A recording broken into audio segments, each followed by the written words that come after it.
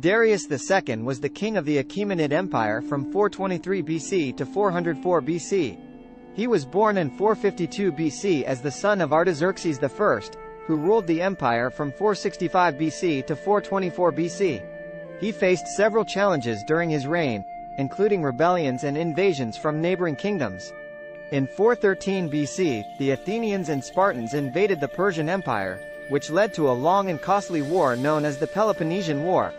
During his reign, Darius made several attempts to reclaim the lost territories of the Persian Empire, including Egypt and Asia Minor.